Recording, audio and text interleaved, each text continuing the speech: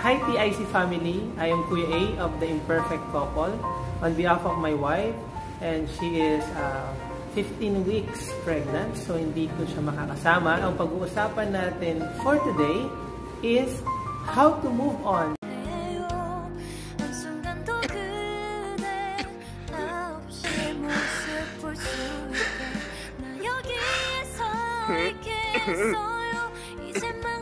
Before ka nga pala mag-move on, ask yourself first, ready ka na ba talaga?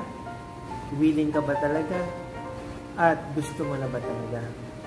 Then if the answers are yes, then let's go. 君の虜になってしまえばきっとこの夏は充実するのもっと The first question muna is, bakit kailangan mag-move on? Wala na ba talagang chance para i-fix yung relationship nyo? 헤어지자고 한 거 아니에요. 난 정했어요. 그러니까 이제 더 마음 아프게 이러지 말아요, 우리. Kung wala na talagang chance and you really give up on each other and may nakita na kayo para sa isa't isa, the very first thing na dapat nyo gawin is talaga mag-move on. 이러지 말아요 제발 나 당신 못 보내 미안해요. 내가 못할 것 같아요. Anyway, ang pag-moving on is not an easy process. It will really takes time. You will undergo process and it will require discipline. And regardless of temperament and personality, lahat ng tao is nasasaktan.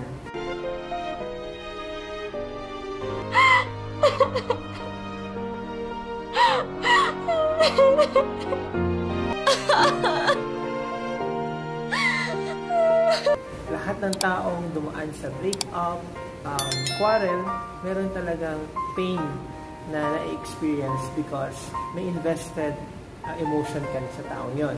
어떻게 그래요 어떻게 마음이 안 아플 수가 있어 당신 못 보는데 그러니까 기다려요 우리 Mga tips lang. Number one thing is uh, you really have first to accept your situation and forgive each other. Don't blame because both naman kayo meron kayong pagkakamali. Unless otherwise stated.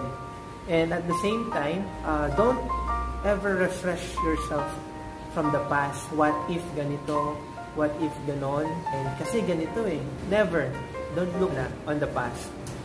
Remove things that will remind you of him or her like um, places, like gifts na binigay niya, things, and at the same time, mga tao na malapit sa kanya at malapit sa iyo na makakapagpaalala. Yeah, it really will require you kung gusto mo makamove on. Mga movies, music, k-drama, kung talagang gusto mong mag-move on, you really have to discipline yourself to refrain yourself from being exposed to that. Don't be idle no? And don't be alone.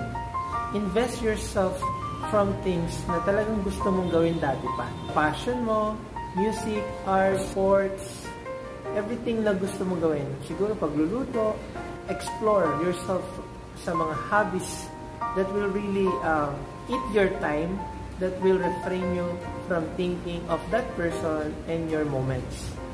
Upon recovery of your heart, then learn to open your heart to others.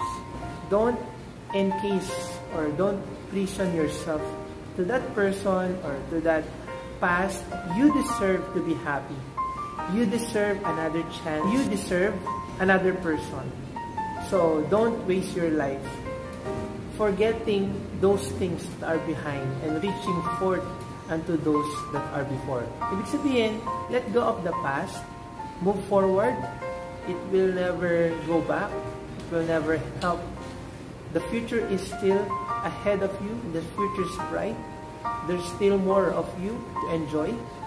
And at the same time, you have to trust God sa mga bagay na nangyayari sa iyo. learn to appreciate, learn to thank God kasi He will not allow things that will harm you. All things work together for good. That's for your own good. And at the same time, spend more time with God. And God will give you the grace and the strength to carry on. Spend more time with friends and family. Yung mga time na na-miss mo with them, bawi ka. And they will help you. Your real friends and your family will help you to cope up and to move on.